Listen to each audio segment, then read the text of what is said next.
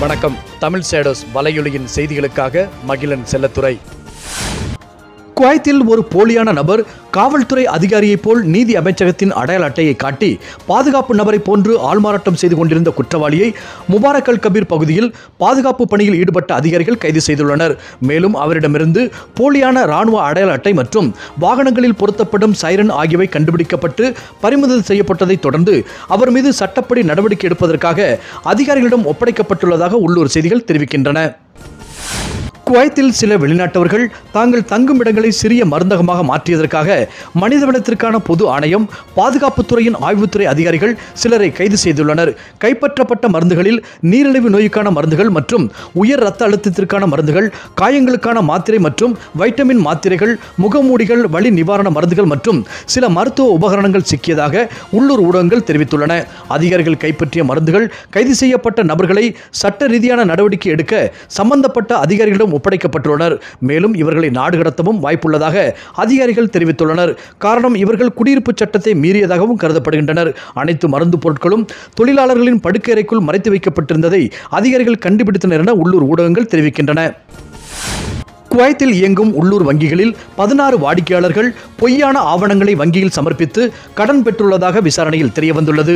அவர்களுக்கு மூன்று முதல் ஏழு ஆண்டுகள் வரையிலான சிறை தண்டனை விதிக்கப்பட்டுள்ளது. குற்றவாளிகள் பதினாறு பேரில் குடிமக்கள் மற்றும் வெளிநாட்டவர்கள் ஆவர். இவர்கள் அரசு நிறுவனங்கள் மற்றும் தனியார் துறை நிறுவனங்களில் பணிபுரிகின்றனர். போலியான ஆவணங்களில் சம்பள சான்றிதழ்கள் பணித்தொடர்ச்சி நியமனங்கள் போலி நிறுவனங்களால் வழங்கப்பட்ட சான்றிதழ்கள் மற்றும் பிற சான்றிதழ்கள் இவற்றில் அடங்கும் என்று அந்த வட்டாரங்கள் தெரிவித்துள்ளன. ஒவ்வொரு வாடிக்கையாளருக்கும் கடன் தொகை ஏழாயிரம் தினார் முதல் இருபத்தி ஐயாயிரம் தினார் வரை இருப்பதாக ஆதாரங்கள் மேற்கோள் காட்டியுள்ளன. பதினாறு குற்றவாளி நபர்களின் பெயர்கள் மற்றும் கடன் தகவல் பற்றி நிறுவனம் பொது தளத்தில் பட்டியலிடப்பட்டு அவர்களுக்கு இறுதி தீர்ப்பு வழங்கப்படும் வரை எந்தவொரு புதிய நிதி உதவியும் வழங்கக்கூடாது என்று நீதித்துறை தெரிவித்துள்ளது. குவைத்தில் உள்ள நெடுஞ்சாலை மற்றும் சுற்றுச்சாலைகளில் விநியோக இருசக்கர வாகனங்களை தடை செய்வது தொடர்பான உள்துறை அமைச்சகத்தின் முடிவை அமல்படுத்துவது ஒத்திவைக்கப்பட்டுள்ளதாகவும் சில கட்டுப்பாடுகள் மற்றும் நிபந்தனைகளின்படி அவர்களின் வேலை மற்றும் குடியிருப்பு இடங்களுக்கு மட்டுமே செயல்பட வேண்டும் என்று இன்று நடைமுறைக்கு வரவிருந்த இறுதி முடிவு நவம்பர் ஏழாம் தேதிக்கு ஒத்திவைக்கப்பட்டுள்ளது.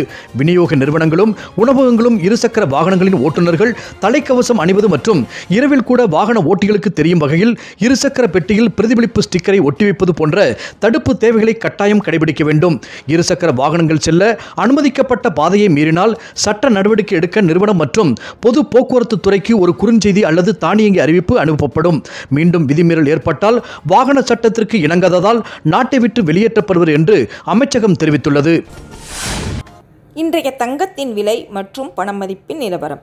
ஒரு கிராம் தங்கம் இருபத்தி நான்கு கேரட் பதினேழு தினார் அறுபது ஃபில்ஸ் ஒரு கிராம் தங்கம் இருபத்தி இரண்டு கேரட் பதினாறு தினார் அறநூறு ஃபில்ஸ் பணமதிப்பின் நிலவரம். இந்தியாவின் பணமதிப்பு இரநூற்றி நாற்பத்தி மூன்று ரூபாய் முப்பது காசுகள். இலங்கையின் பணமதிப்பு அறுநூற்றி ஐம்பத்தி ஐந்து ரூபாய் எழுபத்தி மூன்று காசுகள். எங்கள் செய்திகள் உடனுக்குடன் உங்களை வந்தடைய தமிழ் ஷாடோஸ் யூடியூப் சேனலை சப்ஸ்கிரைப் பண்ணுங்க. லைக் பண்ணுங்க கமெண்ட் பண்ணுங்க ஷேர் பண்ணுங்க. மறக்காம பெல் ஐக்கான கிளிக் பண்ணுங்க.